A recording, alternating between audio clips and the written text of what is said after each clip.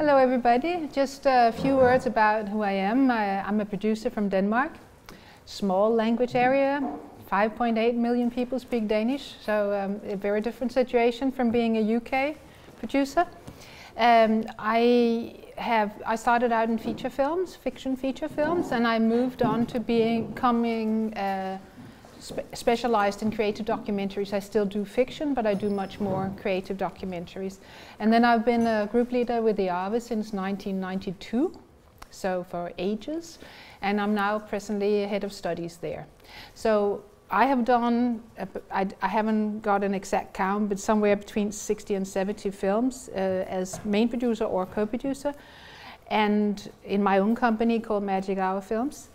And then I have, through uh, EAVE and other workshops that I've done, I've seen hundreds and hundreds of co-production structures. So uh, I have a bit of a perspective. What I don't do, just to be, make it clear, I don't keep all the rules and regulations in my head because my head, my head tends to get overcrowded and they change all the time. So it's also you know, a safeguard to not start doing a co-production thinking I know how it works in that country without checking because you always need to check.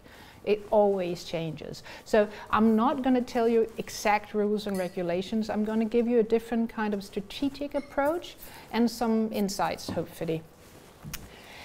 Um, and like uh, Agnieszka said, you can ask me questions at any time. Please interrupt. Um, absolutely a good idea. The way I'm going to structure this is that I'm going to first give you a little bit of definitions and sort of set up what, what are the rules, what is the landscape. And then I'll go into more um, the whys of co-production, some motivations from different players in the field, because I think it's important to understand uh, who's out there, what are their interests before you approach them. And, and then I'll uh, go into some how co-production, how you do it, what is there to think about. And, and in the end, I'll, I'll, if we have time, I'll do two sort of mini case studies where we apply some of the, some of the things that I have uh, talked about to, to real projects, see how that played out. And um, the bad news is that I, I won't be able to teach you everything about co-production in, in two hours. But as I heard, you also have some experience, uh, some of you. But, but my goal actually is to uh, remind you of the things that you know that you don't know, that you have to check, that you have to find out before you em embark on it. But also perhaps to get you to be aware of a few things that you didn't know you didn't know because those are the real pitfalls. Uh, because it, it's, it's fine not to know everything. I mean, nobody knows everything. As long as you can ask and find out and inquire, that's not a problem.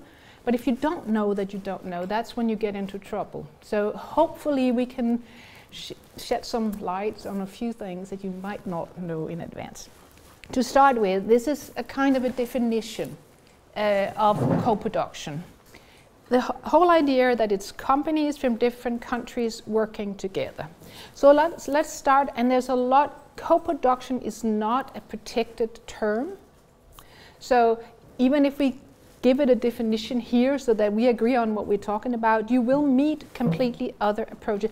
So let's talk with, start with what it's not. I mean, if you go, uh, if you have a film and you need to shoot in Romania, and you go to Romania, you find a production company there that takes care of the whole shoot for you, and you pay them to do it, and go home with your film afterwards, that's not co-production. That's a production service. There are no right shares. There's probably no revenue share. Sometimes you can give a company a bonus, which is revenue based for you know bringing you home on time and on budget and all of these things. So that's an in incentive. It's still not a co-production necessarily. It's not that um, what a co-production is normally is um, actually you do co-produce. You share the entire uh, creative, you share the practical uh, part of production, and more importantly, you share rights and revenues afterwards. Copyright, and uh, definitely rights and copyright and revenues. If you uh, if you have funding from different countries, like the BFI or um, other film institutes, that and you produce under uh, the regulations of either bilateral bilateral co-production treaties or something like the European Co-Production Convention, that makes it an official co-production.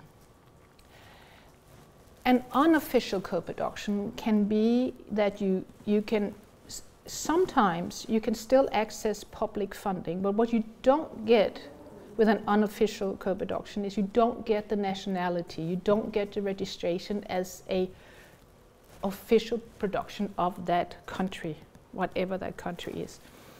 Um, and but as we will see much later, you can sometimes have an official co-production between, let's say, three parties, and you can have, can have underlying smaller co-productions that are unofficial attached to the official production. I'll, I'll show you that later. But so it gets relatively complicated. Um, normally, you still share rights and revenues, but it's negotiable in this instance. Uh, the, especially the right parts for the unofficial, but it's, it's natural to do it. I, I think it would be hard to negotiate with a co-producer and say you won't get any rights, but it's not set in stone. And where it gets really blurry is when we start talking about co-financing, because co-financing normally only involves uh, sharing money or bringing money to a project and not being creatively involved. Uh, but for instance, television stations, they tend to call co-financing co-production very often in their in their setting. They, they let's say that they only bring a pre-sale in, in reality. They only bring the money that's uh, worth uh, whatever the worth of the license fee would be to screen the film, nothing else, and they don't retain revenues. They may still call it a co-production, but it would be, in a sense, a co-financing deal because they don't have rights and revenues. Um, co-financing is normally reserved for either not having share of revenues, that would be like the pre-sale, or having only share revenues, not rights. But it, the whole, that line between co-production and co-financing is blurred. It's not a strict line, so you have to remember that. It's not, you know, you can meet very different interpretations of the terms out there. What you have to worry about is the term that your funders and the funders of your co-producers use how they view it. So you have to look at their rules to see how do they interpret it. What does it take for them to acknowledge it as a, for instance, official co-production? Okay, so official co-production, very clearly, they must follow co-production treaties between countries or the European Co-Production Convention. They, that you cannot be an official co-production and not follow the treaties. That's, uh, I just wanted to put it out there like that, even though it's very simple. Bilateral co-production treaties are agreements made between two countries, and they will lay down some conditions that you have to follow to benefit from being uh, registered as a film in that particular country. And there, there are very many different types of bilateral treaties. They have different rules, so I won't go into that because you really have to look into it. It, it doesn't make sense for me to say there's this and that and the other, because it has to be the relevant treaty for you. So also that's also very quickly. I'm just putting it in here also because you get the slides afterwards, so you can remember that this is what I have to go and, and look at. Just ask very briefly, yes. if you were co-producing with a country with which there is no treaty, then it yes. will, of course, be an unofficial co-production. Or follow the European Co-Production Convention, for instance. It, it can be easier if for you. a country outside of Europe, though. Yes, but, but you can choose to follow that. I mean, it, it's a choice also uh, that you may have because it can make certain things easier, you know, to say that, okay, this is, you don't have to negotiate everything, some things are already in place. Um, but of course, that's then negotiation thing. But if there is no treaty, it's uh, free negotiation, if, if according to the rules of the. Underneath the European Co-Production Treaty, my understanding is you can add a non-European yes. country as well. Yes, yes. And still be within Absolutely. Yes, if you already, for instance, if you, if you already have a, a European co-production and you want to add a non-European partner, you can absolutely do that. That, that is not a problem at all. These are, to the best of my knowledge, the, the bilateral treaties uh, that are in existence, and there may be more, but uh, these are at least in existence. so, could be more. And as you can see, UK has um, has um, apart from France, they have basically done bilateral treaties with countries with some English language. Uh, They've done it with the colonies, basically. is, is there what? Yeah, the colony, yes, but also language. There, there is this thing about language, and, and f- for me, coming from a very small language area, this is one of the big cultural differences that uh, this country speaks uh, the mother tongue of film, at least if you don't come from India, where they actually make more films, but from a Western perspective, English is the mother tongue of film. And this has, uh, I've done co productions, I think, with at least 25 different countries. I've never done one with the UK. I've done with Ireland, but not with the UK. And it has very often been a language barrier because even though some of the films I've done have actually been in English, it has been broken English. If you do a documentary, for instance, you go and, and interview somebody in English because that's the only common language, but it doesn't sound right to English ears. And it has actually been um, a hindrance, I would say. I think this is changing. Uh, it's a it's changing a little bit. There is a shift. Uh, I think the shift is due to a lot of different things. It's due to the fact that all our countries are becoming more and more diverse in terms of um, people and languages. It's also to do with uh, the fact that there has now been co-production for so many years, and and the, a lot of the art films that are distributed are not English language, uh, so people are getting used. And, and, I think the platforms also has something to uh, to do with this because they actually now start to show and air uh, projects that are not English language. So I think it's slowly slowly changing, but it has been an issue. Also, there has been an issue between the, the dubbing countries and the non-dubbing countries. Coming from Scandinavia, we do not watch dub films. It, it it doesn't happen. It's all subtitles. I mean, dubbed is hopeless for us. And, and, um,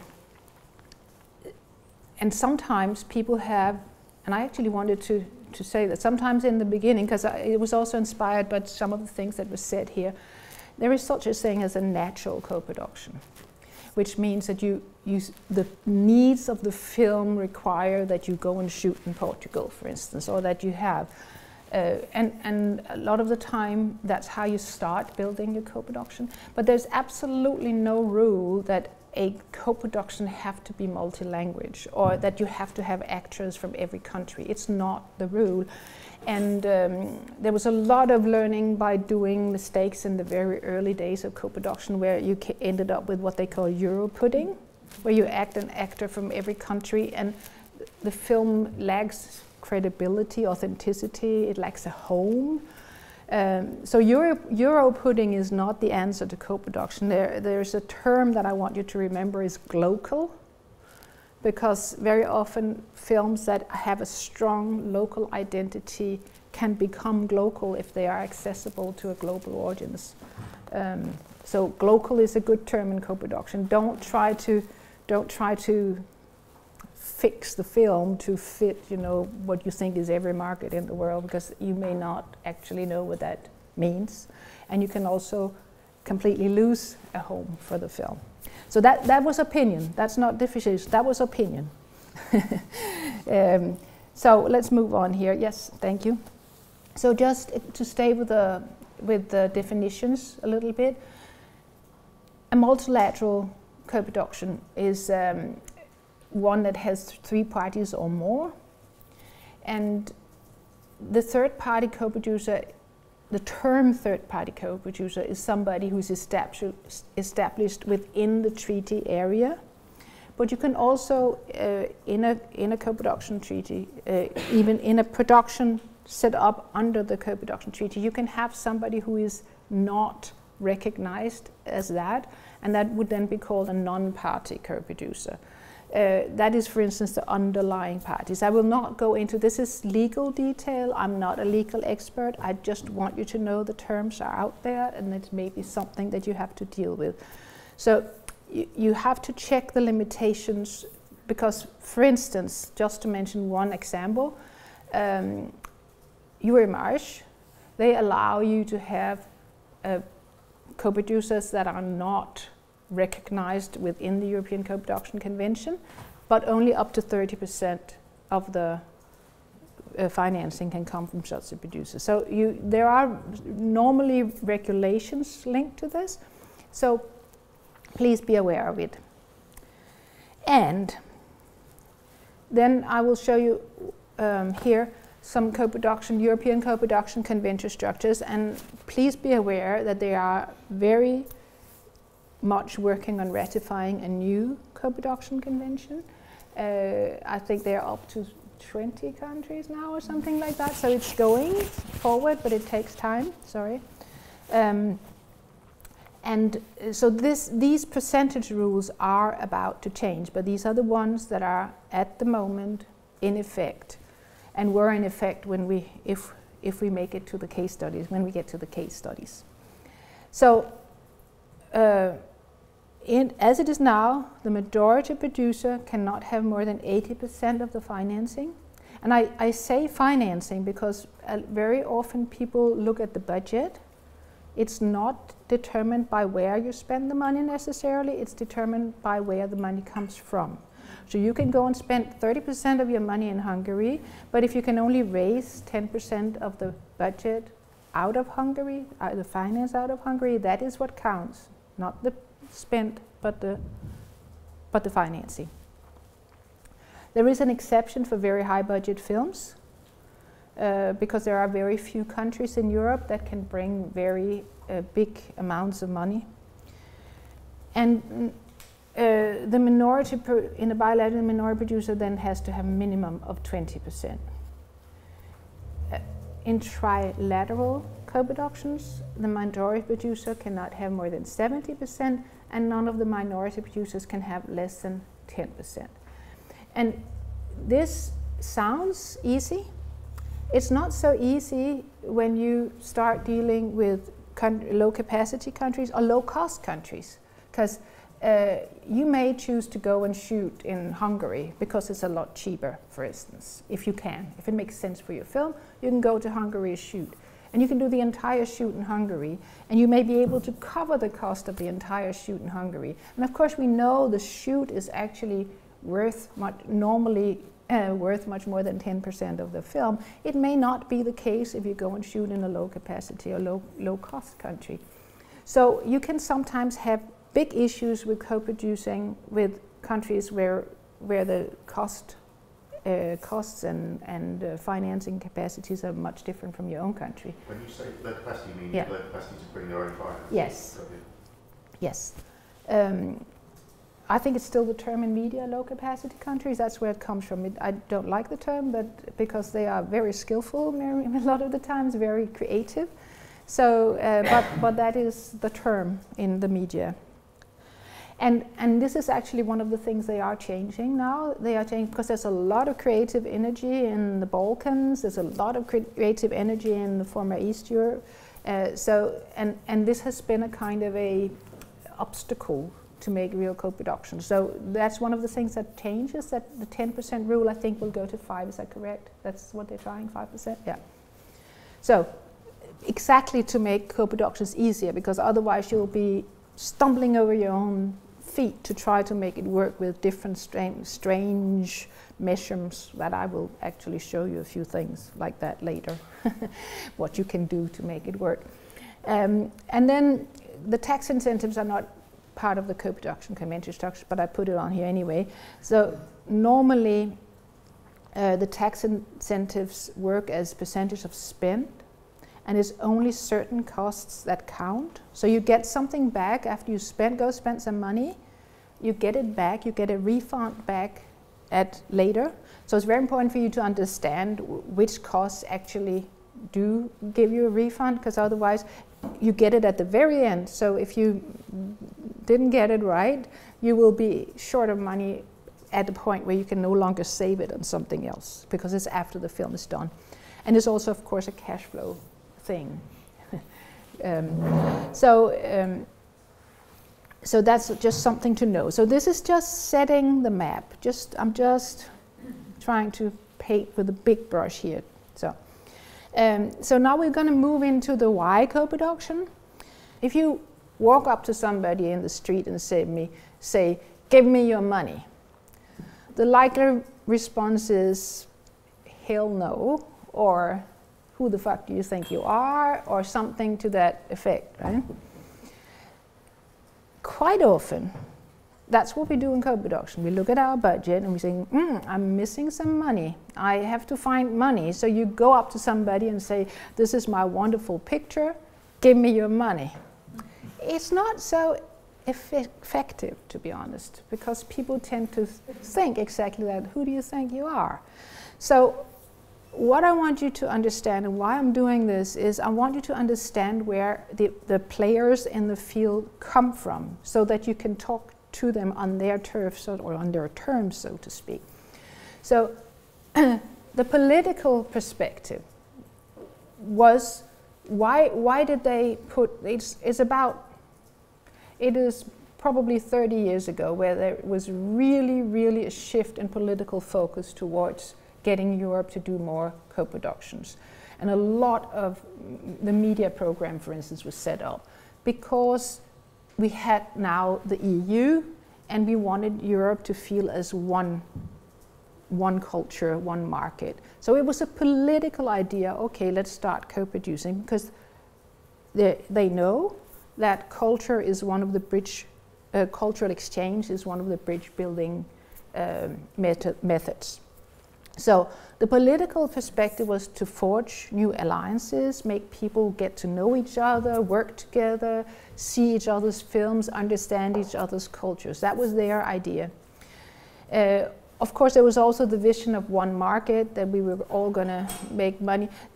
That part has been probably more slow than they had hoped for because uh, still there are just a handful of films being distributed around Europe. It's not, it's not, it's definitely not every film that's made.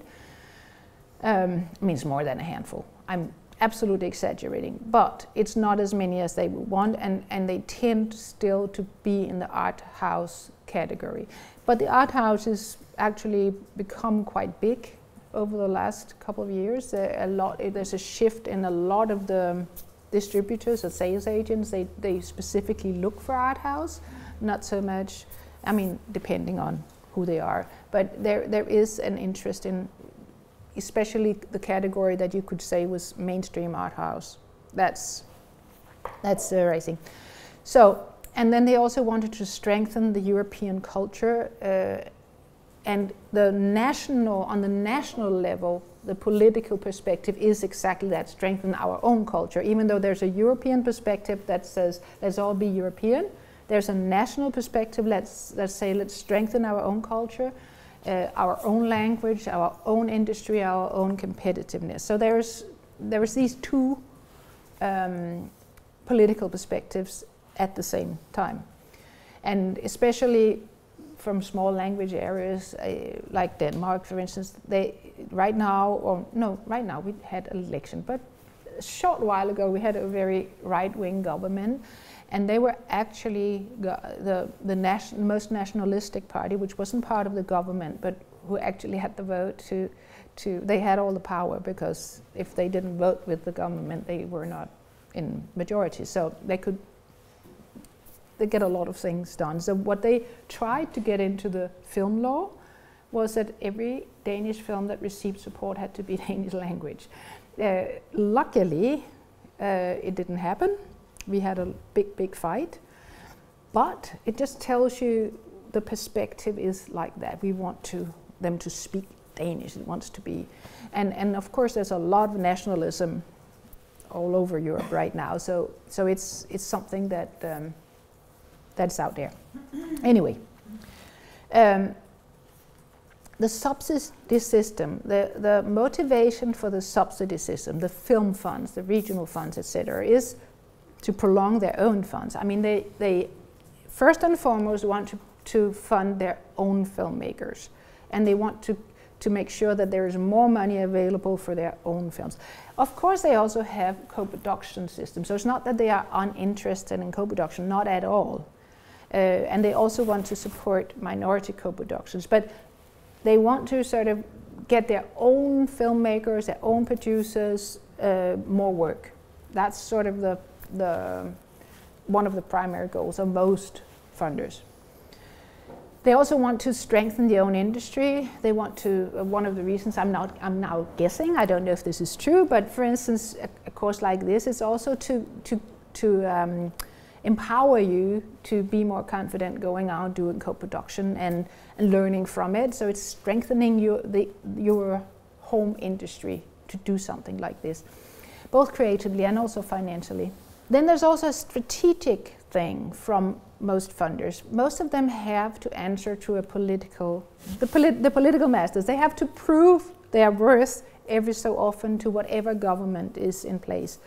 So they also like to have something to show off. It can be that they were part of one of the really big uh, award-winning films, one that was very successful. Maybe it got an Oscar nomination, something like that. So something to show. It can also be uh, that they have co-produced with so many countries, for instance, that they made the, all this happen, or that they attracted so and so many productions to Denmark. But things that are important to for the film funds to show the politicians. I'm bringing this up because producers never think about that when they approach a film fund. They try to, you know, look at the rules and think, how can I fit? How can I get the money? But things like this can very, very well be part of your argument for sell selling your project to the film funds. This is something that's important to them. If you, if there is a, a, a likelihood that you will win awards, or if there's a likelihood that this will really be noticed because it's the first co-production between XX and YY, uh, that's also something that you can mention, you can add to your um, to your sale. Uh, then there is um, also the boost of local turnover is very important, especially to re regional funds. Most regional funds, again, I'm being, this is a really broad um, brush that I'm painting with here.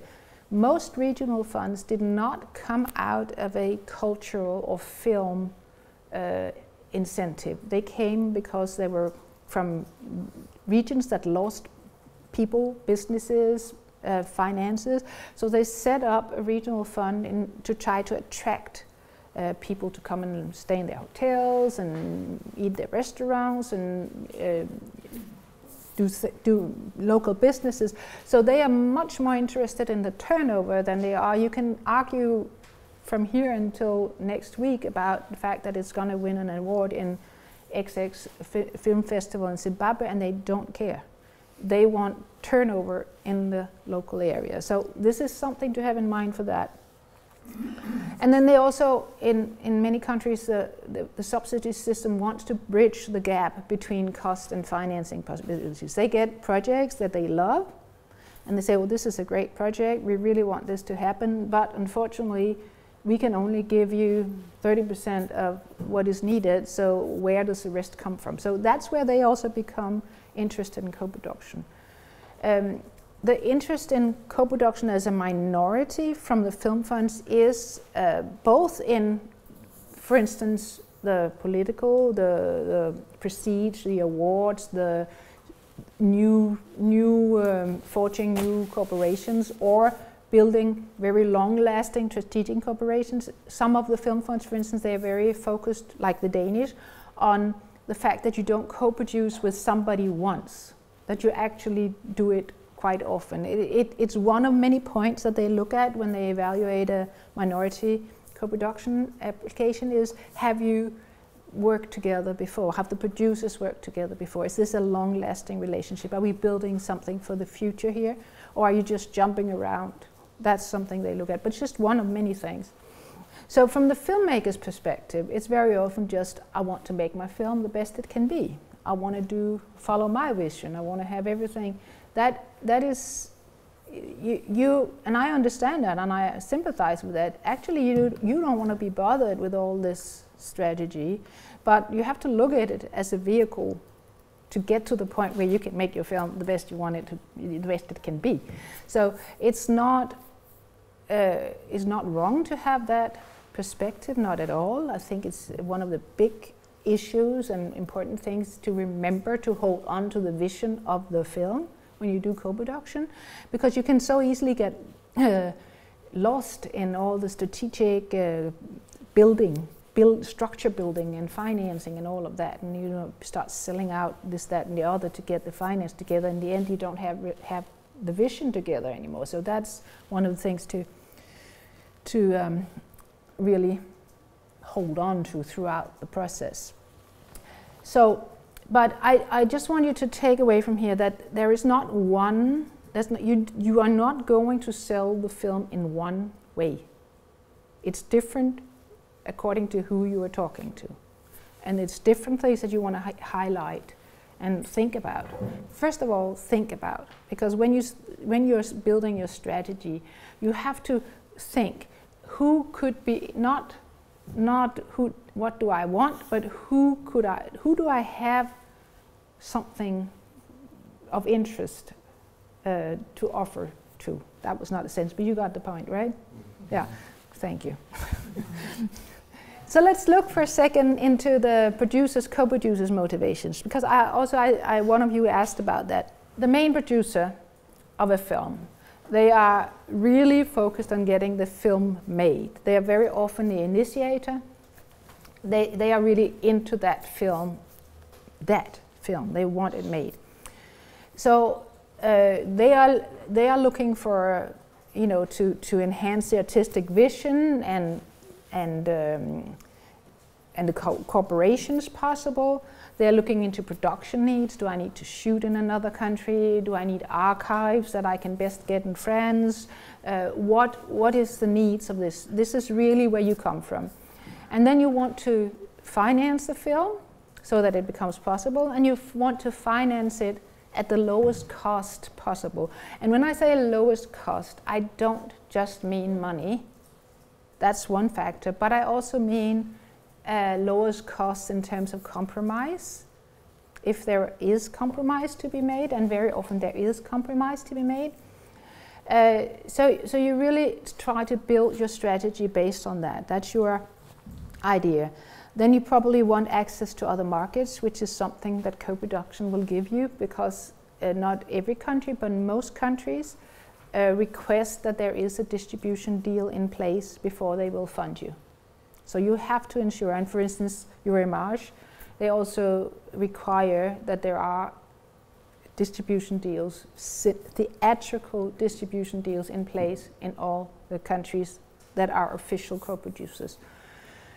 Um, so, so it will give you access. In, when, when it's creative documentary, you can sometimes uh, get away with uh, having uh, it aired at a major festival instead. The problem, of course, is that you have to prove it at the point of, of uh, application, and you don't really know that it's going to get selected at the point of, of uh, application. So very often we doc- a documentary, the case is that you, you work to get a distribution deal in place, and then if the distributor, when once the film is finished, feels that maybe it's too expensive to put to air theatrically, you you try to go for a major festival or you do uh, select event screenings, which is also okay. So then we maybe screen in 10 theaters or five theaters or something like that. But you have to have it.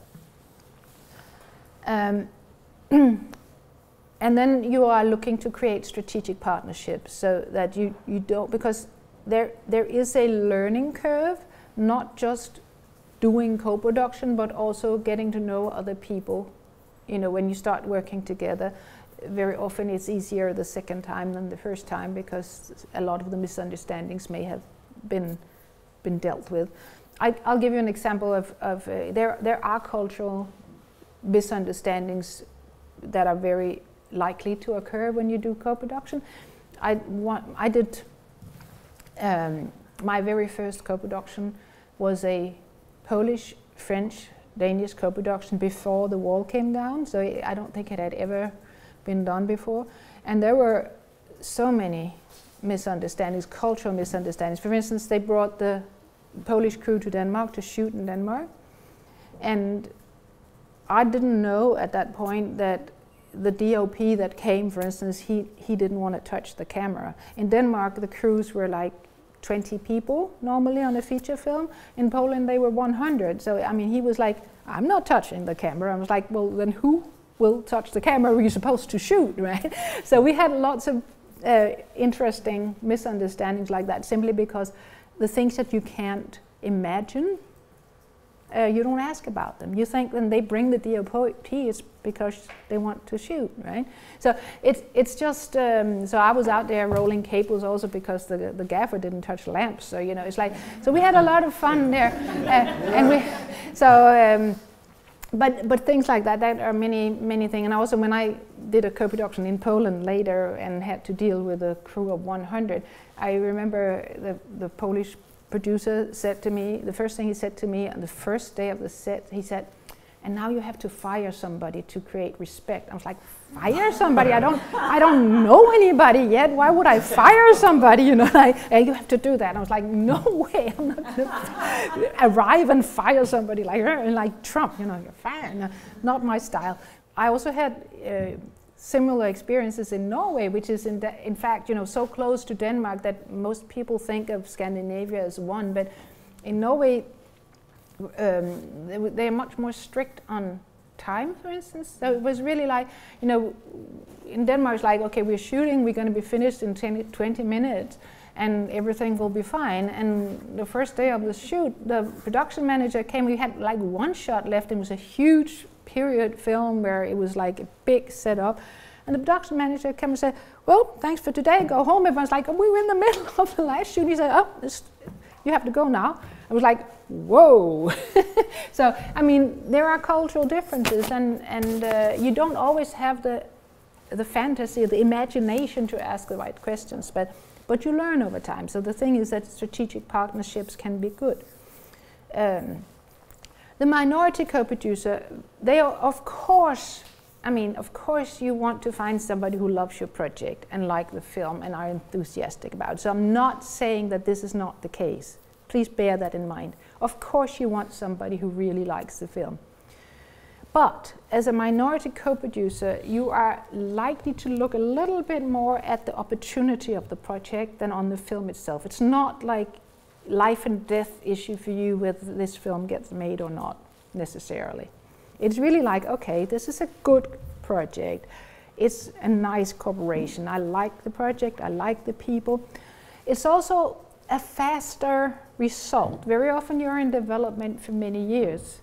And the co-producer can come on board during development, but quite often they come on board in late development or at the time of, of uh, financing which means that the, the road from uh, starting the project in their company till the result is there is much shorter than if you are the majority co-producer. So it's an opportunity. And, and if, you are, if you are looking at it from a strategic company planning point of view, co-productions can also be very interesting for that reason because you don't always know how long it's going to take to develop a project. And most of the time it takes longer than you knew and what you planned. And if you knew how long it was going to take, you might never have started it, but then you're already far gone, so you will continue. So what I'm saying is that it can be a way to help you uh, buy some time for your longer running projects. It can be a way of creating turnover in your company, covering your overheads, because there are shorter, there's a shorter while from project start to project end for the minority co-producer. Not always, but often. And um, it, it's also less work intensive. I'm not saying there's no work, there's a lot of work, but it's less work intensive than being the main producer. It's very often quite uh, uh, well defined what your role is, what it is you have to do. Very often it's also uh, in terms of time, it's a limited time. For instance, you do part of the shoot or you do part of the post production. So your the intensity beyond making all the deals and getting the deal in place, the work is very often uh, the the intensive part of the workload is very often eh, within, let's say, a maximum of six months or something like that. So it makes it easier to to um, yes. Can I ask you a question about that? Yeah. Is, is it ever the case that that is reflected in the production fee splits? As, for example, if the, if the, if the main producer is doing most of the work and the minority producers bring in 20% of the budget, if they take 10% fee on the 20% of the budget but they're doing 3% of the work, it, like it feels like there's a mismatch. Uh, yeah, yes, um, I'm going to be talking about mismatches in general l- later, but but of course, this this is one of them. This is one of them uh, who who is really driving the thing. It, you ca- you exactly with the overhead or the fee, you run into very often to regulations that there is a regulation that this is the kind of overhead, and this is one of the really complicated things of, of uh, co-production very often because the, the regulations don't match. Um, in, in Germany, I think still you don't have uh, the right to a producer's fee. I think it's still the case. I'm not sure. It might have changed, but in in the beginning in Denmark, you were not allowed to have a producer's fee in a documentary. You were only allowed to have a producer's fee in feature films, and and you know it, it, it's ridiculous, right? So, but the rules are there until they change. So you, you're as you if you intend to be in the business long enough, you will also need to be part of changing them, and and and you can do that. But very often with exactly that, you you you you don't necessarily have the fee on the finance. You very often have the fee on the budget. So if you if you are spending so and so much money in that country, you will have a producer's production fee on the budget, and, and on the spend, and that is more. Uh, it is more fair, if not completely fair. It's more fair because there is a some kind. Of course, again, the problem ari- uh, arises when we go to very low-cost countries. Because, like I said, uh, I I was not, I'm, I don't know why I keep mentioning examples from Poland, but never mind. This is another example from Poland. I was trying to do a co-production with Poland, that didn't happen, and the reason why it didn't happen was that. Um, I was raising money in Norway, and Norway is a very high cost country, probably one of the most high cost countries in Europe. And um, I had raised all the money to do the entire sound post production in Norway. So the whole thing was covered. There was no cost for the Polish majority producer for doing that. But the cost of the sound post production in Norway was the same as the entire shoot and edit in Poland. So and and uh, but this becomes then very difficult because here you have a clear, uh, you know, mismatch between the workload and the money. There's a clear mismatch here, right? And I was trying to make the argument it doesn't matter because you need money to finish. You need sound post production to finish a film, and it's fully covered. So as long as we don't give the Norwegian co-producer rights. I mean, they can't have 50% of the rights in the film because they only did the sound post production. If we have that negotiation, it's not a problem. But it, end, it was just too, you know, too glaring a mismatch so that it, it fell apart at the, at the very end. But these are one of the things that are definitely there to be talked about. So uh, for, the min- for the minority co-producer, it can also be track record. I mean, if you are looking to, let's say that your next production uh, you, you plan to apply to media, for instance. It's, it's a good thing for you to have had done more co-production. It, it, it is a requirement that you have done some, right? So to do minority co-production can also be that, and especially it can also be there. There are some countries, but not very many, have reciprocity reciprocity rules. Um, but even if there's no rule, there is a kind of a sentiment, let's put it, that there should be some reciprocity. Where we, we don't want to send all our money to this country, we also want something back, kind of. So you can be strategic about what kind of co productions you, you choose because you have plans for the future. You want to build on something as a minority co producer. And then, of course, uh, it adds to your library and, and um, the, you have more revenue sources. Uh, not you know, the, the best part of revenues are the ones that you don't work for. So the long tail of a film, where, you know, where you, it may be very little money that just trickles in, but it's, I mean, every time there's something and you didn't expect it because it's just out there working, it's just so nice. It's like, oh yay, you know, you can invest in this uh, development or something like that. So, so it's also a way to getting more of those trickles, and you know, en enough trickles makes for a little stream. so, so um, that's also a, a clear motivation. But the one thing that you also have to understand is that to the minority producer, your if you are the majority co-producer, your project will also always be secondary to their own projects. And the reason why I'm saying this is if there is some kind of emergency happening, and you need to go and ask more money, let's say that, or you have to go back to your uh, broadcaster, or you have to go to your crew and say, Can you work an extra day for free because there's absolutely no more money and this and that happen. You're much less likely to do that as a minority co producer because you want to reserve these emergency si- situations for your own projects. And if you expect that as a majority co-producer, oh, come on, do this, that, the other, you are likely to not get along as well as before. Um, I had, I had, um, I did a co-production that uh, changed extremely much from the beginning, from what we were selling to what we did, ended up delivering.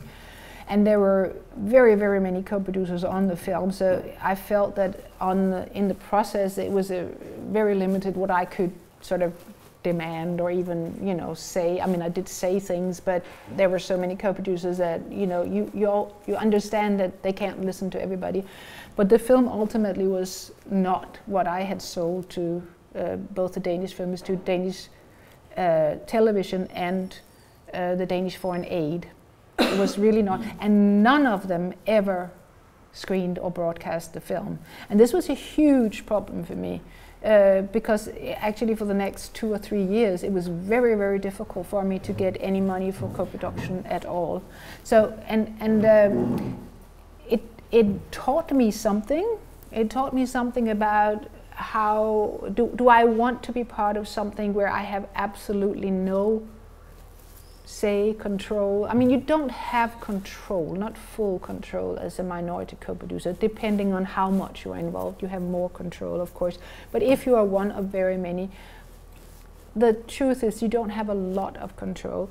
So if it's people you don't know that well, or you know, this this this was a documentary. It was shooting in Mongolia. So I mean, you don't even see anything until it's already shot, and you know, so it, it's it's very hard to be on top of it like that.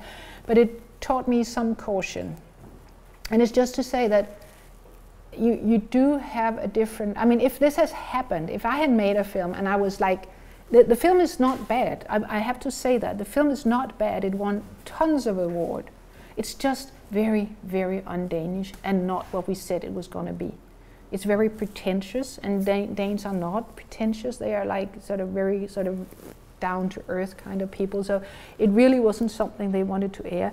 So things like that is also something I, I take into account now, and I'm, I'm very careful when I sell a project that I'm selling what I think it's going to be. So. Um, so these are the two differences between, and you can of course be both. You can both be the majority and the minority. So, so understanding the different motivations that play into it will make it easier for you both to be clear in what you want as a co-producer, whether it's majority or minority, uh, but also to understand who you are talking to and what you can expect from them. This is the from the film's perspective, and I always urge you to really look at everything, go back. It's a long process. Go back every now and then and look at why are we co-producing this and why is it this way that we are co-producing it? Why is this a good match for the film? Always go back and look at it from the film's point of view. That's very important. And the positives of why co-production from the film's point of view is that you can get you can add perspectives to the story at a early stage that will make it more likely that it's accessible to other audiences than your own.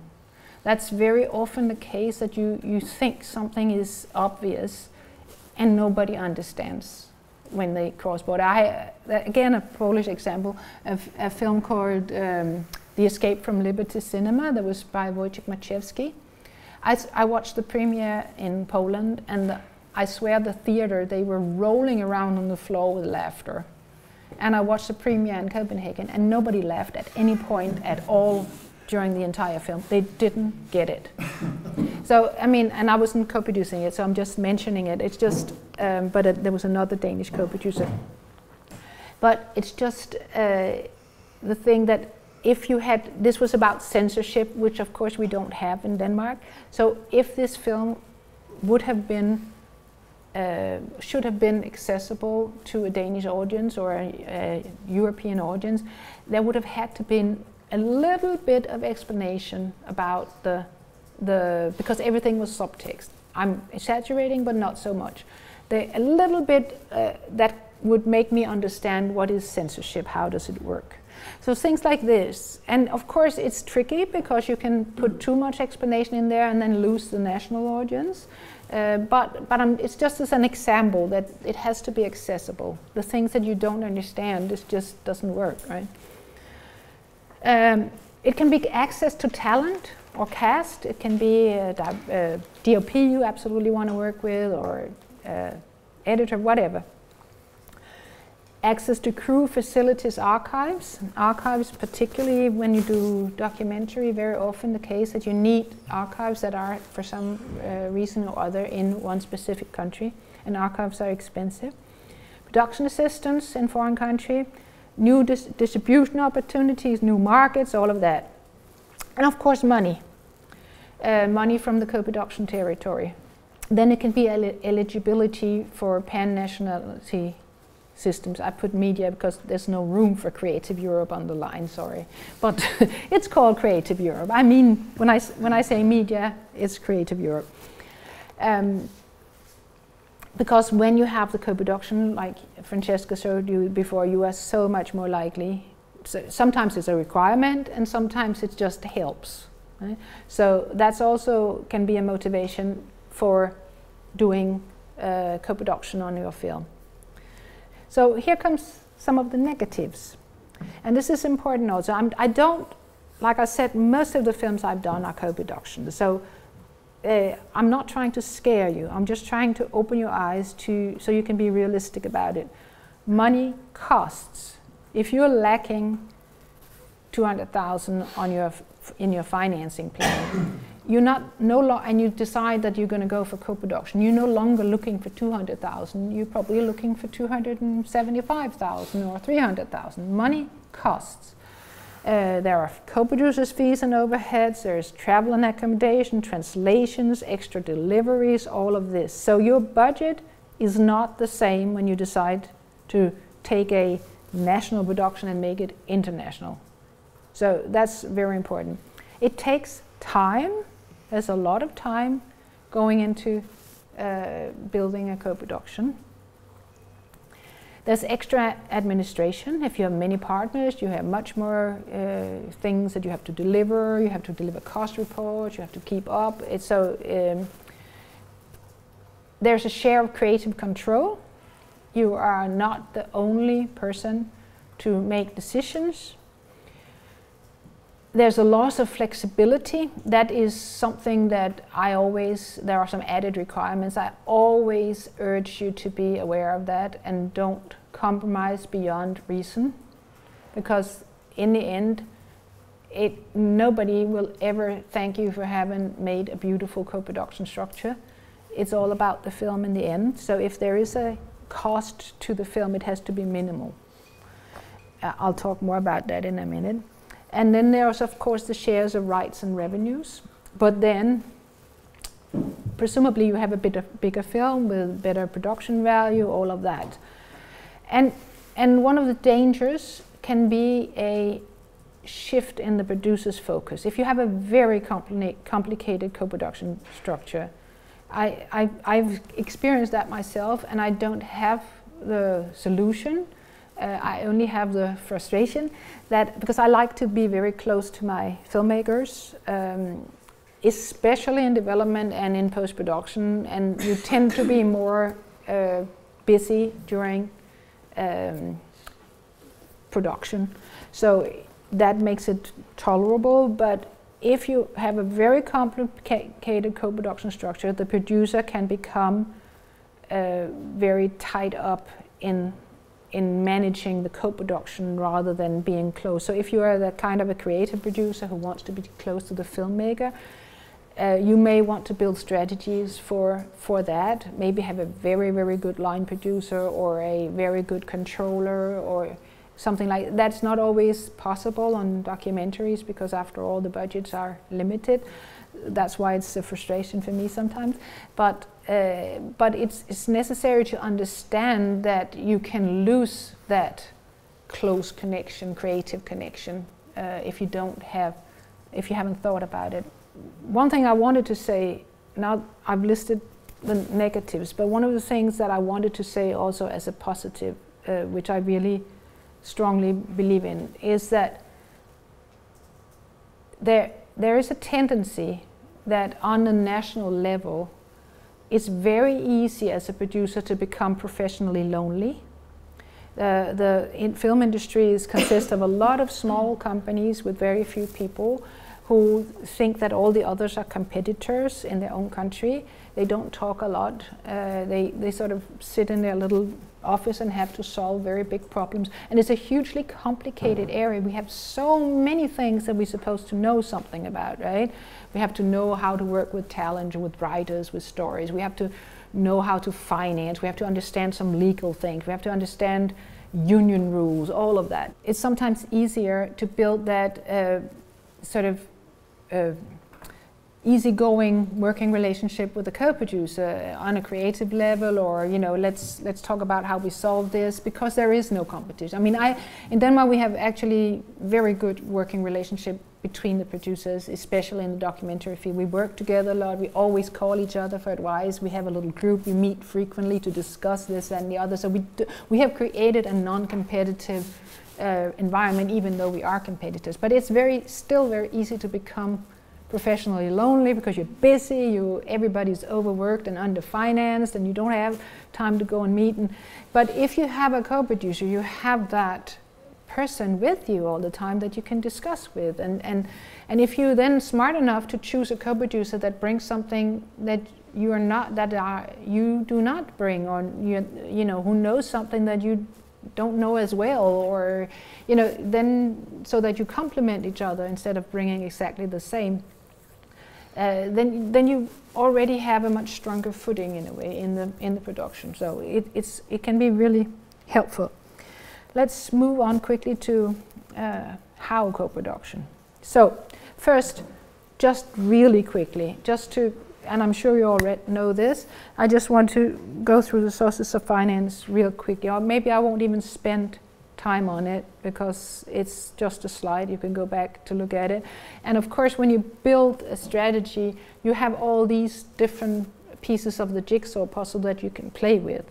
And just to give you a quick example, uh, when you're, for instance, setting up a co-production uh, for a documentary, if you are co-producing with countries that require creative input, you have don't have a whole lot because the crews are often very small because otherwise you're disturbing the environment that you are trying to film without disturbing it. So you have maybe the director is even also the DOP, maybe he's also the DOP and the sound recordist. So you have very small crews, so you, you uh, exhaust your possibility of giving creative, creative key roles to other co-producing countries very quickly. They're gone so then you have to look into other types of money that does not require that. And that could be tax, for instance. It could be uh, other things. But, but it's just to, to, this slide is also to make you aware that you can build a co-production strategy looking at different types of money with different requirements added to them. Not just, money is not just money. Money comes with different strings attached and with different requirements and with different opportunities. So it's just to look at the sources and think if I do this, then what? And maybe I can combine this with that. The typical requirements from national and regional funds are creative input, local spend, and quite often, not always, it could be, for instance, that you have to spend 150% of what you get in a region. I want to talk about that for one second because when you're looking at your finance plan, if you have three of those, you run out of money very quickly. You can get uh, in a panic quite quickly.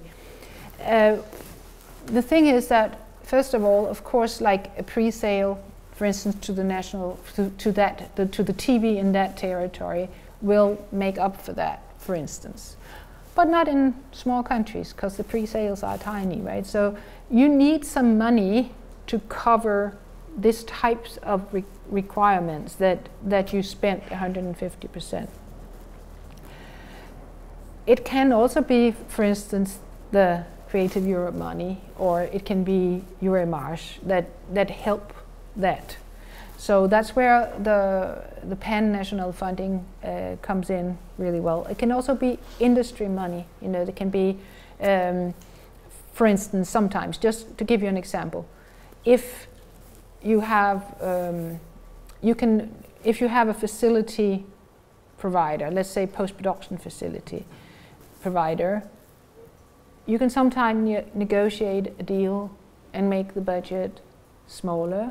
You can also sometimes negotiate a deal that where they don't give you a discount, but they invest what would have been the discount. So you know there are thing there are ways of making this, and there's also ways of putting adding other money, I'll get back into that in a minute, to a territory. So,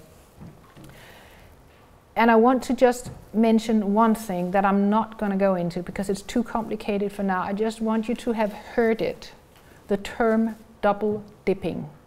There's a term called double dipping. And this is where it gets really complicated. And if you are out doing your first uh, co-production, don't attempt to do it yourself. Get advice Double dipping means that some cost can count in two territories. You don't get to account them twice because that would raise the budget, but you can give hand in account, and it sounds illegal, it's not, it's the way it's done. So one cost can, can count as a local spend in Germany and in Belgium, for instance. So that sometimes the 50% that you have to spend more in that country, it is less money because it counts in two places. So I just want you to know it's out there. We're not going to spend time on it now. But it's because, let's say, I'm not, I'm not even sure, to be honest, that this is a, a, a valid example. But just for the sake of argument, if you have, if you're shooting in Germany and your DOP is Belgium, I think that part of that cost can count both in Belgium and in Germany. So it's just, it's this kind. The double dipping means that the same cost will go into the local, the, the, the local uh, spend accounts, but not of course in the global, in your final account, it's only there once, of course, but it counts twice. All right, let's move on. Reciprocity is sometimes a thing. Local distribution very often required that you have secured distribution that, that because the most most of the funding bodies are taxpayer taxpayer funded which means that they want to know that their taxpayers get the chance to see the film. So this is very often the case. Um, and then recoupment is also a, a requirement.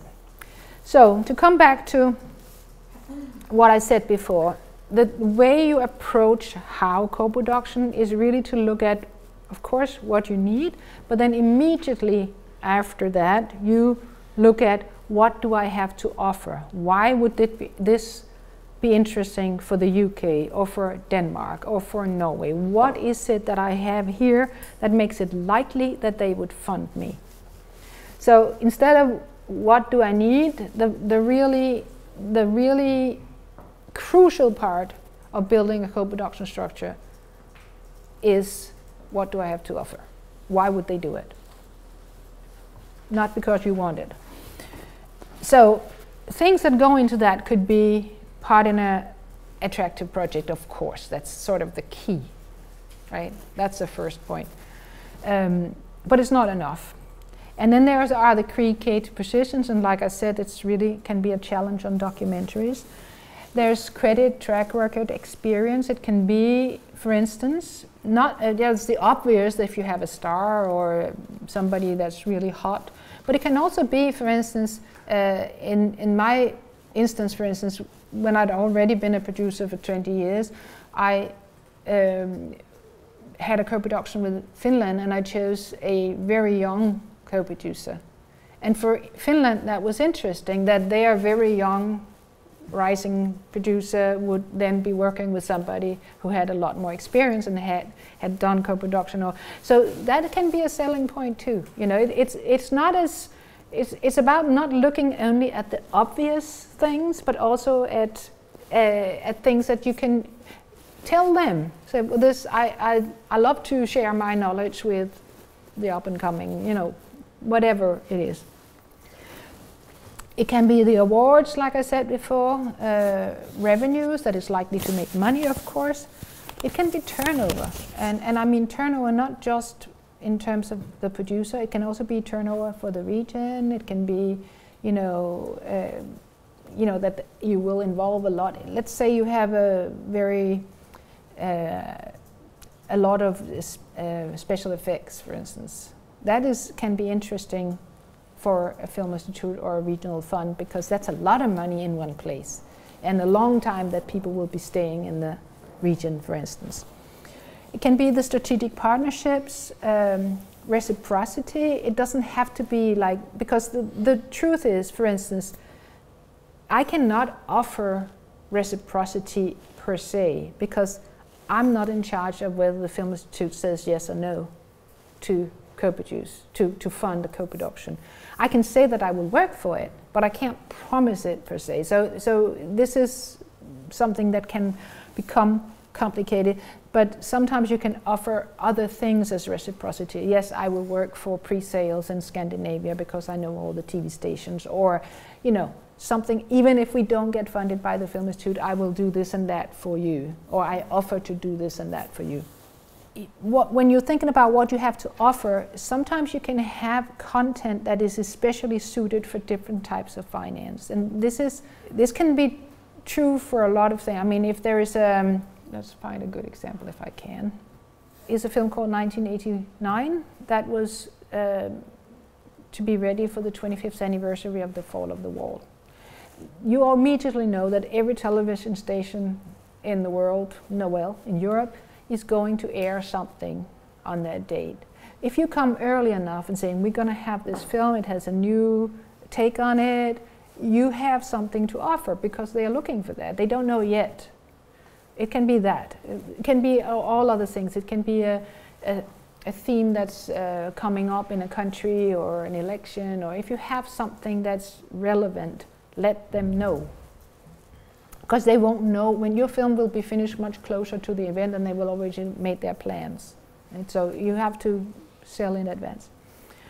And it can also be, of course, for uh, NGOs, uh, other kinds of partners. Partners that can be both part financing partners, but they can also be outreach partners, part of the distribution. And if you have a really interesting outreach uh, structure built up already, meaning how the film gets out, not just through the traditional systems, but in other ways, ways of enhancing uh, awareness of it, debates, all these kind of things. And that can be both for fiction and documentary. That is also interesting for a film institute, for instance, knowing that it will be very much in the public sphere. There will be a lot of talk of it, a lot of extra coverage, not just a review of the film, but actually a lot of uh, context around it. That's also interesting.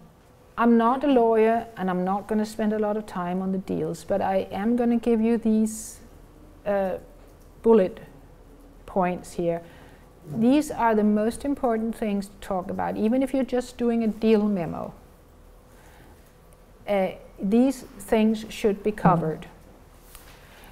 For instance, I can only raise production, co-production funding in Denmark for minority co-production if I have some kind of creative role. So it's absolutely crucial to me that you promise me a really interesting role. So if you promise me the editor, for instance, and then you come back later and said, well, by the way, you can have a production assistant. That's not going to make it for me. So that makes it impossible for me to be the, the co-producer. So it's, imp it's important that you already at the start of the uh, cooperation between you find out what are the requirements, what, are, what is flexible, what is not flexible. Of course, we can change the editor maybe to the composer or the sound designer or something if it's very important. It's not that we can't change anything, but it has to be on a level where it's still possible for me to meet my national requirements. It's very important to, to discuss who does what and who gets what in terms of the actual both practical and financial thing. And then, of course, the budget, uh, including contingency and overheads. And if I can make a point about contingencies, because for me, and this is something I do uh, struggle with every time I make a co-production, but I, I think it's worth struggling over, so I do it. It's very often the case that if you say, for instance, in, in Danish documentary, there's a rule, you have a 10% contingency. And if you have a three-way co-production, it's natural that you put 10% uh, on each of the budgets, whatever the budget is. 10% of that will go in the contingency. I happen to think that that's a mistake because very often uh, the overcosts are not spread evenly, right? You need them for perhaps for longer editing, especially in documentary. It's hard to know how long you're going to be editing. And then if there's 10% uh, overcost in the shooting budget in Norway, it's very likely that the money will be gone because it's there and why shouldn't they spend it when if it's in their budget. So I always try to say that for instance 3% is automatically allocated to whatever uh, national budget there is, but the seven other percent is actually mine to decide where to spend, or it's a negotiation, or we have to agree on it, or something. Because I don't want all of the money to be gone by the time I need them. In, in reality, there will only be a very small percentage of contingency left for post-production, for instance, if you share it like that. But it's, it's not the way it's normally done, and it's something you have to fight for, so that's why I'm putting I, I, I mean, I've done it a million times and I have the fight every time with the Film Institute. Ah, that looks weird, and say, yes, but it's good, trust me. so, then I also want you to be aware that a financing territory and a distribution territory is not necessarily the same.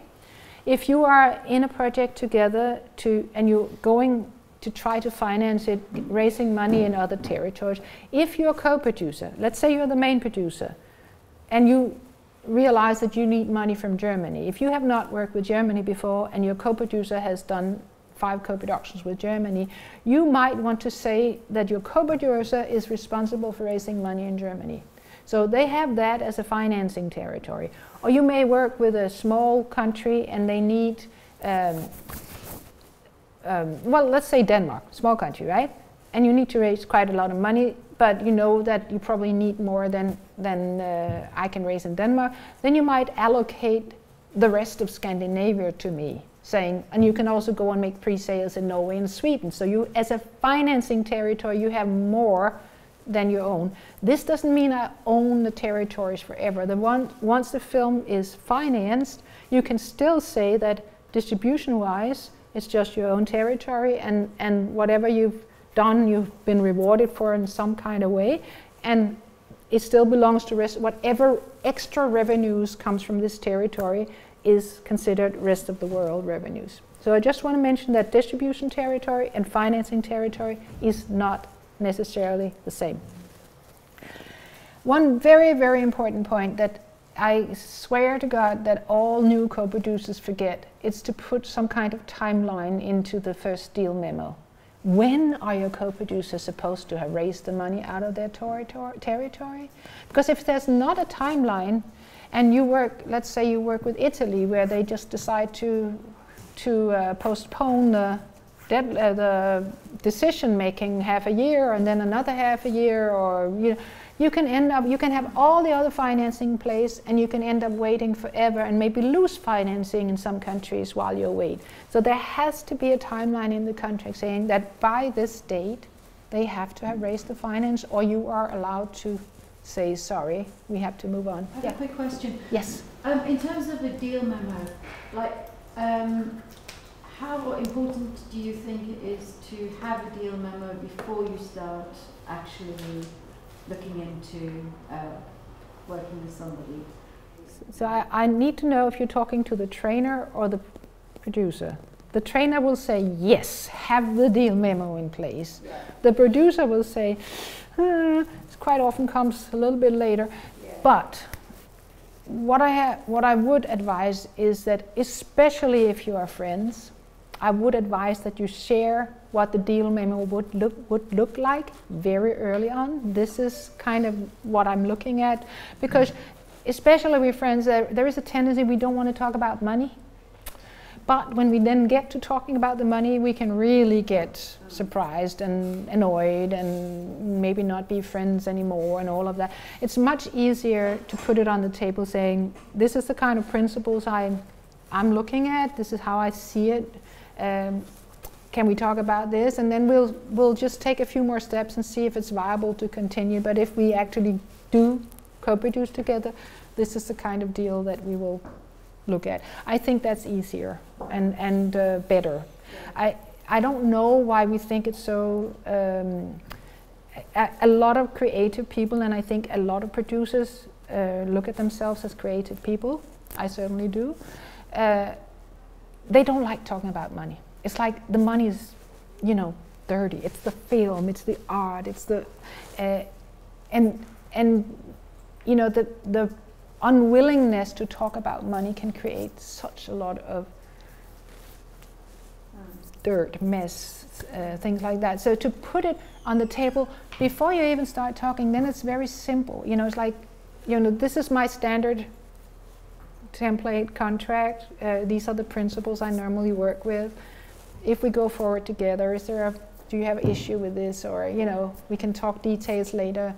But it can be simple things like, do you have um, allocated territories, or do you share all the revenues, for instance? Principles like that can be very important to think about because What is typical there? I mean, that, that's not traditionally, um, a co-producing country would take their territory, wouldn't they? yes But then that kind of changed, and they shared the world, yeah i think that there are there are really pros and cons. Uh, if you if your co-producer retain their own territory they tend to work harder for the distribution in that territory.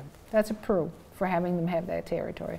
If you have pan-national funding where you have to pay back from all the it's much more difficult because you don't really control the revenues from that territory and from a more sort of a more emotional point of view for instance um, I made the one of the my first co-production, the one I did before the wall, uh, wall came down.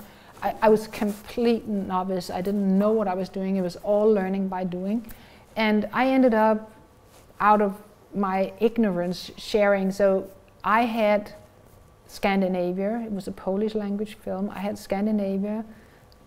Uh, Poland had Poland and all the Eastern Bloc countries, and France had France and all the French speaking territories. If you start counting per capita, I mean, right?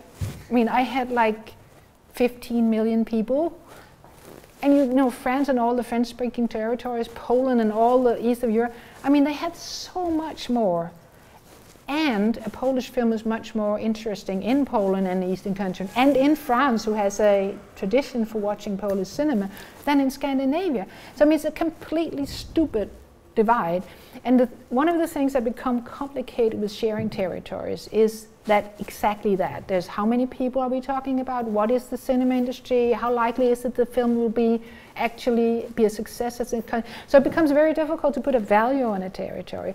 And in a way, if you've done, if you really truly did something together, do you want one co-producer to go bankrupt and the other to be rich? I mean, so so it's it's also that, and uh, so Are, are, are either strategies kind of still pursued today, or, Yeah. or Yes. There, as many as every, and a deal memo is not a long form contract. No. You can always have a deal memo signed with the steps, and that doesn't mean that you're binded to create the long form contract if things don't. No, no, there will, there should be, you know, like one page yes, deal memo with all absolutely, or points a could one and a half or something. Yeah. it's the, it's, it's the, the agreed points. yeah, but I, I think the point is that the actual the actual signature is, can sometimes be uh, re- premature, that you feel that it's premature. I understand that, you Mm. want to, but I think it's a good idea to have, put it on the table.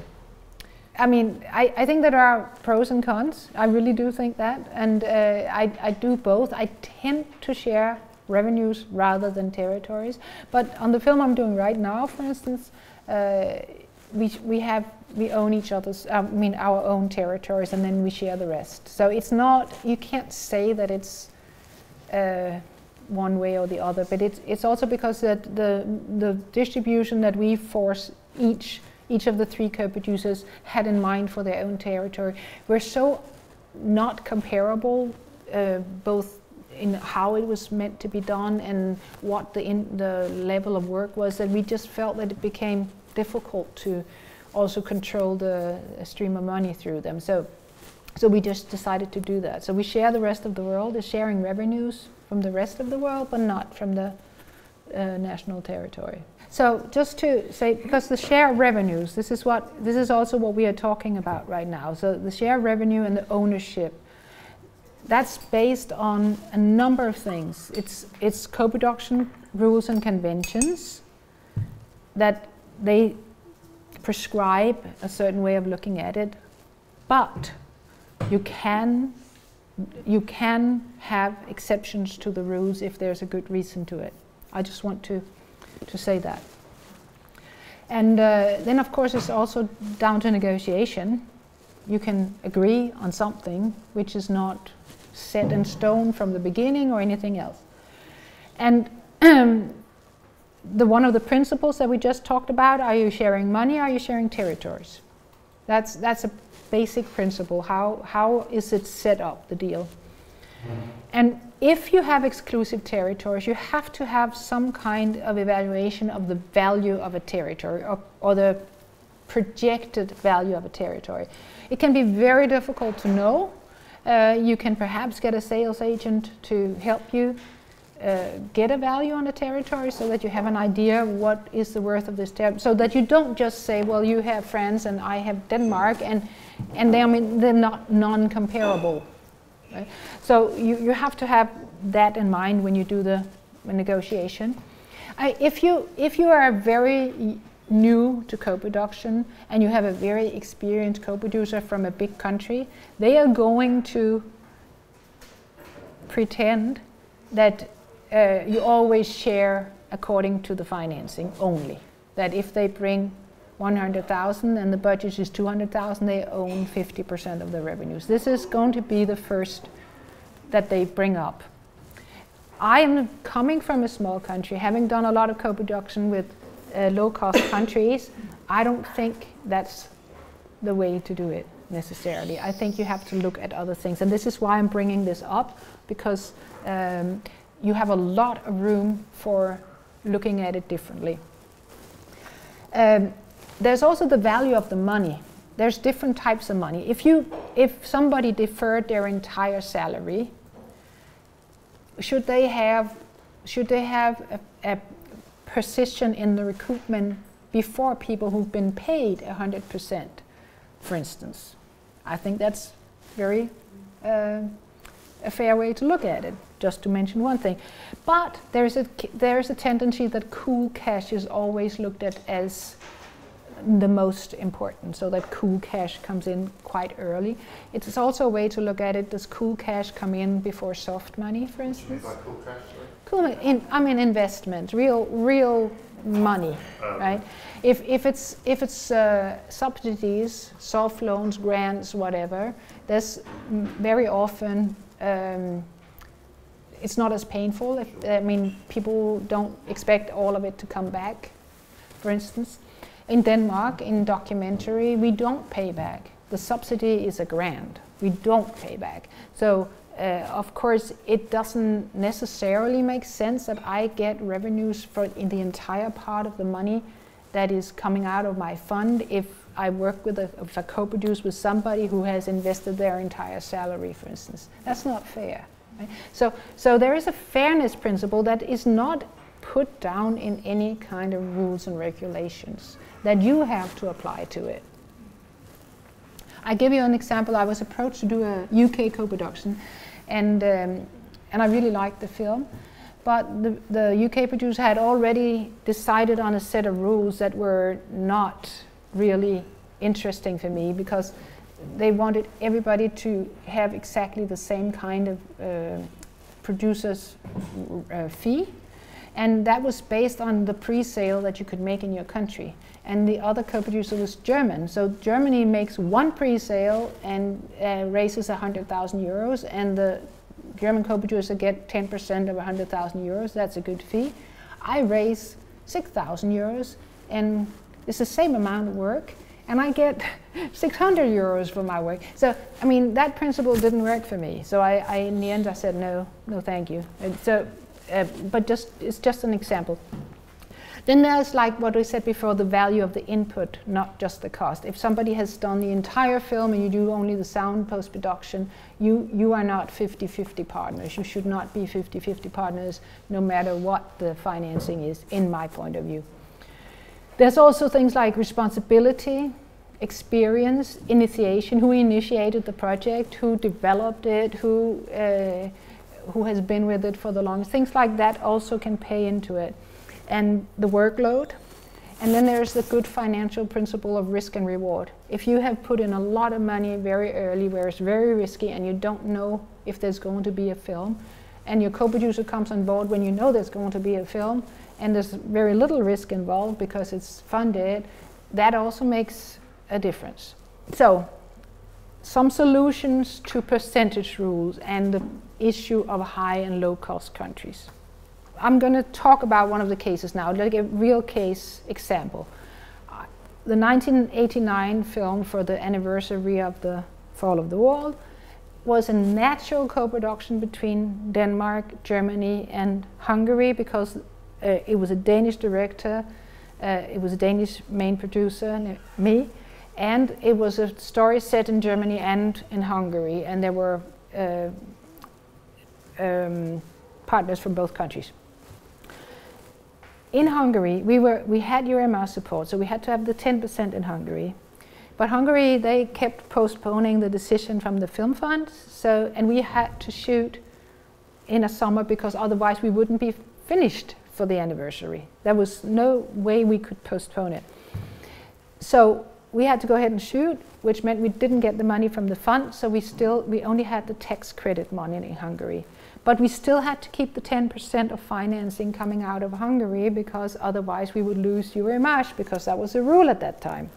So one of the ways, and we did do, the truth was we did uh, maybe 80% of the entire shoot of the film was in Hungary. So it was a real co-production.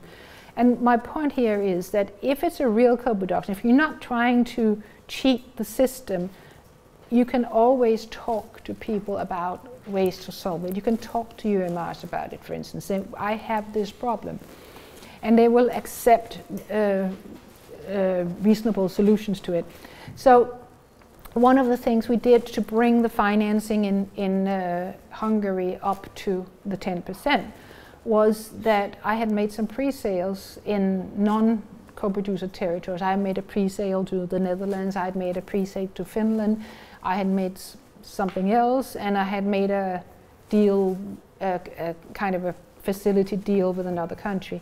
All of those deals were then allocated to the Hungarian co-producer. So you make an attachment or an annex to your co-production deal and we're saying, by the way, the Hungarian co-producer has the right to pre-sale in the to pre-sell in the territory of Finland and the Netherlands and and then suddenly it becomes Hungarian money legally and you solve the problem. So that's one way of solving the percentage rules. It doesn't that have an expectation of ownership or, or reward? It, it can have. Uh, in, in this case, in this particular case, I, you can, you can for co- of course then negotiate that you share revenues in a different way. But again, it's a financing territory, it's not a revenue. So it's just the value of the sale, and you need the money anyway. So it's not a big thing. And for me, I was fine with having the Hungarian co-producers stay at 10% uh, ownership and revenue of the film because they really did a big part of the work. They did 80% of the shoot, even though they couldn't raise the money. So for me, that was fine. I didn't change anything. So I don't, I don't have an issue with that. I, I think it's, it's fine. And, and it really was that their system that failed them, right? Because they kept postponing the, the decision-making date beyond the time where we had to shoot. So to uh, another way of solving this is not now this was about how to solve the percentage rules in the actual co-production structure when we talk about solving some of the issues of fairness and other things that we just talked about you can have for instance exclusive or shared territories you can allocate you can decide that Hungary, if I had wanted to, I could decide that Hungary to get more, if I hadn't given them up to the 10%, I could decide that they would own uh, the rest of the Balkans as distribution territories. Maybe it wouldn't have been worth any kind of money for them, but at least it would be a show, show a sign of my understanding that they needed something. That you can have that, you can do that, you can decide that in a deal. You have to argue why. They will ask you, why is that? But as long as it's from a fairness principle and a reality principle, something based in reality, it's a real co-production. They did this for the film. You are likely to to make it happen, to be able to make it happen. And then you can have corridors, and by corridors in the revenue, it means that you can decide that out of the 100% of the revenue coming in, let's say you have a deal where everybody just shares revenue, there are no exclusive territories you can decide that out of that 100%, 5% goes first to the initiating, uh, 5% of the 100% always go to the initiating producer because they've had taken all the risk, they've done all the work, so they should have more than the others. That's a corridor. Eurimages also has a corridor. And then you look at the rest of the, then you, the 95% become the new 100% that you then share according to the financing. That's one way. So you can play with time, and you can pay, play with corridors, you can play with territories. There are, you can also say that the first 100,000, if somebody has worked for free, you can say that the first 100,000 or 13,000 goes directly to those who deferred. Yes? Will um, national funding agencies support that kind of structure? Uh, I mean, I can't speak for all of them. That would be. Because normally they have rules, don't they? They, they, they have rules, but quite often, if you can, if you have a solid argument, this is why this makes sense, because we are trying to balance off a low cost or high cost country, for instance. You can most of the time. I don't. I don't. I can't recall ever not having been able to make the argument and get. i have sometimes had to fight for it, but I, I can't recall not getting through with an argument like this. I once had to put it off differently. For instance, what I talked about before with the contingency, I, they, they, they forced me to keep it in the, the different national budgets, the 10%, and then I had to write in my co-production uh, contract that they were only allowed to spend 3% of the 10%, and then, you know, so normally you can, you know, find find a compromise that works for you and for the rules. Let's say it like that, because a lot of the times the the people um, in this fund, funds or other institution with regulation, they want to just uh, make it look as if they is, stick is it okay to, to the that argument or that fight later on in the day? Like you could have a deal memo between a party and it, it's kind of straightforward and it might be premature to argue those points at that point. Is it okay to, to argue later? Yes. When things are more solid and tangible? Yes, of course, because this is, for instance, the, the, the case I just gave you with Hungary, that happened along the way, right? It was, there was one agreement and then reality didn't turn out the way we had hoped and then we had to, uh, so I think there are, in that, I, we probably have like two or three annexes to the contract where we had to add another territory or add another deal to them to make the percentages work. So, so that was, um, Yeah. yeah, you can do it along the way. That's life. You can change. I mean, as long as everybody agrees, you can change a contract all the time until the end of time. Basically, if you agree, you can add something to it, or you can uh, revise it, or and and very often what you set out with in terms of financing, for instance, is a projected projected financing plan, projected percentages, and the reality will have you revise it later. Just one last word about the remuneration of outreach work. This is especially true for documentaries. That if the main producer has does a lot of outreach, that has to be somehow accounted for in this uh, how you split revenues because that has a lot to do with how many revenues you make. So, and it's, it's very often not part of the production budget and therefore not part of the co-production agreement up front. So this is just something to, to think about. Okay, last slide. Rules of thumb. So now I've said a lot about technicalities, strategies, all of that. But what I really want you to not ever forget is that as the main producer, your absolute main goal and focus should be to protect the project. So it's so easy to get caught up in the strategy and the oh and I can do this and I they have they have tax incentives here and I can do this and I can do that. It becomes a game. But if it doesn't make sense for the film, it doesn't make sense. You have to find another solution. And, and this mm, has also to do with protecting the creative space uh, and what the effect is on screen. I'll give you two examples. One of the Zentropa films, uh, I, don't know if it was Europa or uh, I think it was, but in one of them was a French co-production, and in Fran- France they have this quota system where they had you had to have so and so many actors that was from France. They ended up flying extras from France to Denmark to meet the quota system. That makes absolutely no sense, right? Because the cost of doing that does not end up on screen, and it just makes everything complicated.